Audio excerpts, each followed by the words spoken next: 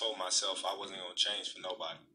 You know, uh, the media and people want you to be this person that they want you to be and not be yourself.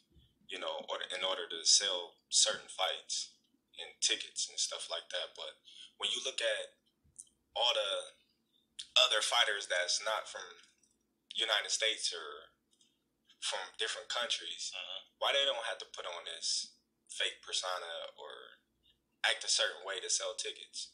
You know, when you look at Oscar De La Hoya, Miguel Cotto, and Manny Pacquiao, and even Anthony Joshua, they're not going out there putting on this fake persona or acting a certain way to make money.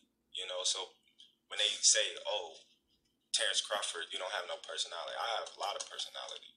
You know, you just want me to act a certain way that I'm not gonna act. You know, I don't have to act uh showboating or going crazy in the in the media, showing money and cars and my lifestyle. My lifestyle is who I am. Mhm. You know, uh, I'm not gonna sit here and fake the funk and say, "Oh, act a certain way," and then when you see me on the streets, I'm acting totally different. Like, "Oh man, you you you imposter." You know, what you see is what you get with me. If I say I don't like you, I really don't like you.